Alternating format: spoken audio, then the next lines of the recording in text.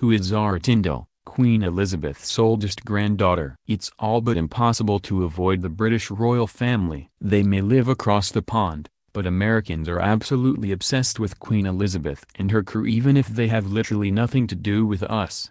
Perhaps Disney is partially to blame, after all, they've been romanticizing royalty for decades now. But no matter the reason, the lives of Prince William, Prince Harry, and their families are sources of endless fascination. However, Royal fans may be surprised to find that those aren't the only royals doing interesting things in the family. The Duke and Duchess of Cambridge recently spent a fun day out with their children, sans young Prince Louis, and Mike and Zara Tindall, who they're said to hang out with a lot. But who exactly is Zara Tindall, and how did she become so close with Prince William and Kate Middleton? Zara Tindall is the oldest grandchild of Queen Elizabeth. Born Zara Phillips, She's the first child of Princess Anne and her first husband, Captain Mark Phillips. She was born on May 15, 1981, the same year as Meghan Markle. But just because she's the daughter of a princess it doesn't mean she has a royal title. Apparently, the HRH distinction isn't guaranteed when passed through a female bloodline. Queen Elizabeth offered the title of princess to her grandchild,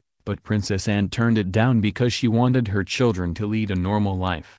Since Princess Anne is Prince Charles' sister, that makes her Prince William and Prince Harry's cousin. And since all are around the same age, they grew up together and continue to stay close in their next stage of life. What is Zara Tindall's life like now? Like her more famous cousins, Zara Tindall is married with children now. She wed former rugby player Mike Tindall, and the couple has two children together, Mia Grace and Lena Elizabeth. However, there's more to Zara Tindall than just sitting around being royal. For one thing, she's a highly talented and dedicated equestrian and even won a silver medal as part of the British team at the 2012 Olympics. This elite athleticism runs in the family. Zara's father Captain Mark also won a gold medal in the 1972 Olympics. Zara also has the honor of being appointed as a member of the Order of the British Empire, MBE for her excellence in equestrianism. Is she close with the royal family? Zara Tindall and her family are frequently spotted spending time with the Duke and Duchess of Cambridge plus their kids.